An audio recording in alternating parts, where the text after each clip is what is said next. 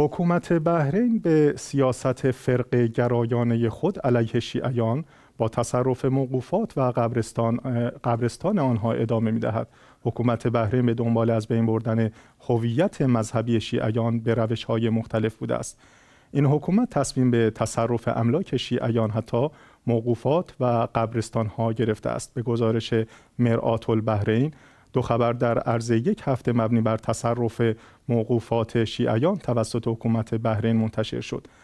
اول تصرف یک موقوفه متعلق به مسجد شیخ صالح در توبلی و دوم ملی, دوم ملی شدن زمین بزرگی بود که در آن بیمارستانی با قراردادی با اجاره کم و با اداره اوقاف جعفری شیعیان ساخته شده بود.